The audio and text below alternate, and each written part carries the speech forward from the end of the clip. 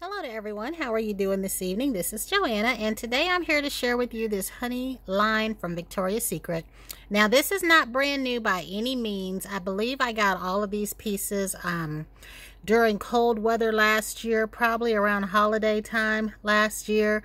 Um, Y'all know that I talked about this scrub because I was in the store when they had this in the aloe line out and one of the ladies in there gave me a huge discount and gave me this scrub and that scrub and I really did like this but at that point I had not used it. Um I had been in the lotion a time or two but then I discovered and y'all know these are on sale now for like seven dollars online now. I just noticed that after I ripped up my receipt these two pieces came in the mail today so when I saw that they were having a honey mist I went ahead and got this because I wanted to have the rest of the set.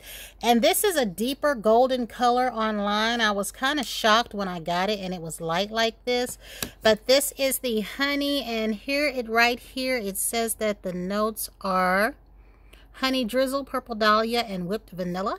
And this smells really good. That's what got my attention in the store was the honey scrub smelled so good.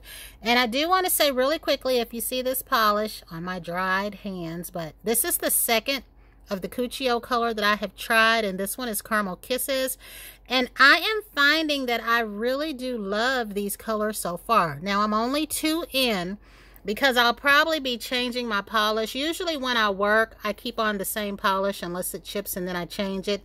In that instance, I'll probably put on something else and resume wearing these on my next day off. But I will try to make sure that with each video I do, I show you what it looks like on my hand. I really do like it a lot.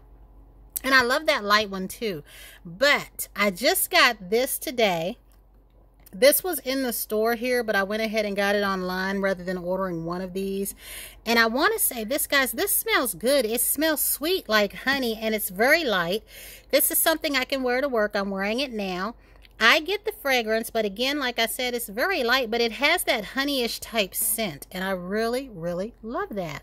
So what i have here is the lotion and i don't know if the notes are the same because i didn't start reading all this stuff again but it says here, straight from the hive, a drizzle of this centuries old yada yada. Y'all see that? Um, and I did not use the scrub tonight. What I used tonight, of course, was the mist, the lotion, and the wash. And I really like this because Victoria's Secret has changed their formulas over the years. But I will say this. This body wash right here, it has classic suds, just like most Victoria's Secret stuff and even like Bath and Body Works stuff.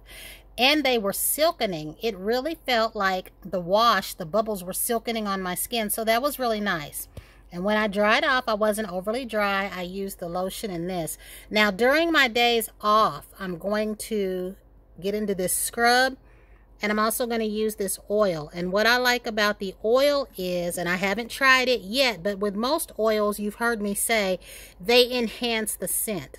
So I feel like if I use this oil as a moisturizer and then spray this mist, it will enhance the scent.